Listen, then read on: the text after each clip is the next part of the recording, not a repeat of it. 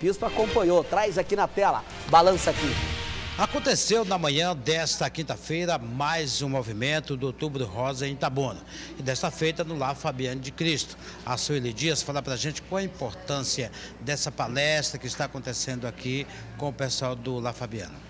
A proposta é trazer informação, orientação, esclarecer dúvidas, ouvir os anseios da população, já que nós somos um grupo que representa o povo, então nós temos esse papel de ouvir, de orientar e de buscar é, trazer uma informação buscando sempre qualidade de vida, a detecção precoce do câncer de mama e o tratamento no prazo adequado. Lembrando sempre da importância da mamografia, do diagnóstico precoce, porque todo diagnóstico de câncer em estágio avançado tem um custo muito maior a proposta é que sempre o diagnóstico seja em estágio inicial.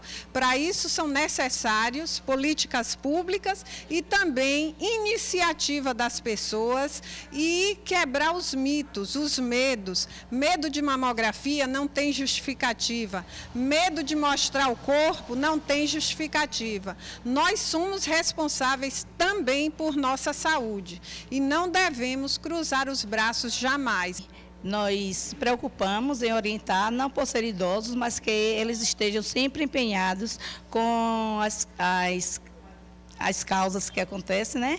Então, para que eles fiquem informados quanto é necessário a, os exames para o câncer de mama e também que eles possam passar né, para seus filhos, é, seus filhos, seus suas netas, que há uma necessidade desse exame de câncer de mama. Você pode observar que aqui é, nós já temos aí pessoal cantando, pessoal fazendo movimento, que é o exercício que é preciso para, também para a prevenção. Com as imagens de Larry Brandão, Oswaldo Bispo para o Balanço Geral.